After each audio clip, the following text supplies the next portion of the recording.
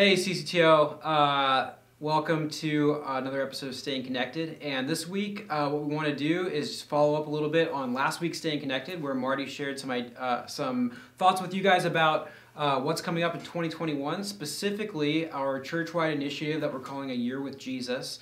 Uh, what this is specifically is it's a weekly devotion that we're doing uh, together as a church.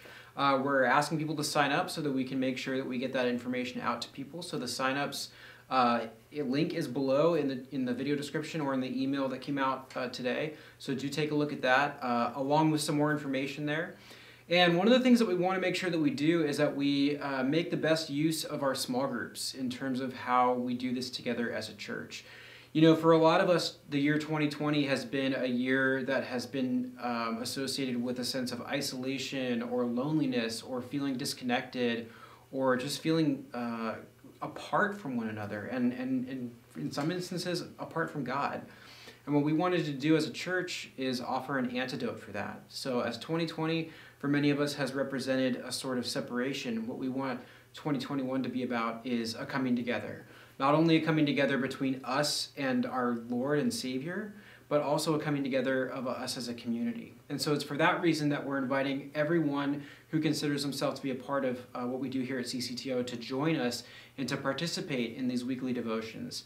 And as far as small groups go, what we're going to be doing uh, is asking the small group leaders to set aside a portion of one small group meeting a month uh, not the entire group, um, not, not every meeting, just once a month, a small portion of the group, to just listen to reflections that people have on the experience. What is it that you're learning? What is it that God's challenging you with? Uh, how has God comforted you? Uh, how do you see Jesus in a way perhaps that you haven't before?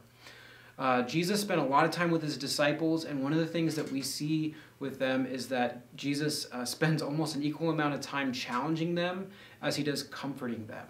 And so in 2020, as we come before Jesus through uh, engaging these devotions, through conversation with one another about what it's like to spend a year with Jesus, uh, we want to make space and, and, and time for God to challenge us and to comfort us.